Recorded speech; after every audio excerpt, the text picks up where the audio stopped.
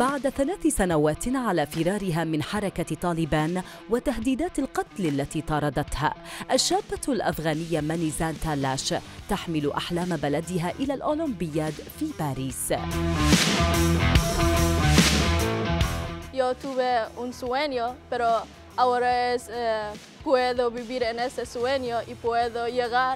Entonces estoy feliz y estoy entrenando muy duro porque esa es mi vida. Breaking eh, me gusta mucho.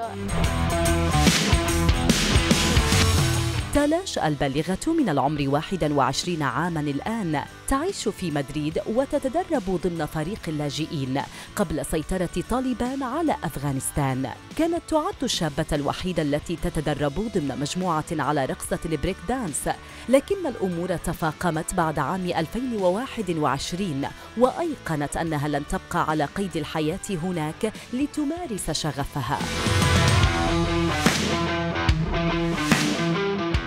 Si yo estuve en Afganistán, no, no vive, porque los talibanes no le gustan este deporte que estoy haciendo. Y es muy peligroso para mí y para mi familia. Pero estoy aquí que hago, no que tengo miedo.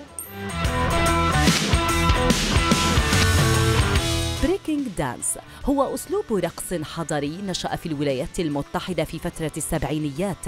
أضافته اللجنة الأولمبية الدولية إلى ألعاب باريس مؤخراً في محاولة لجذب جمهور أصغر سناً.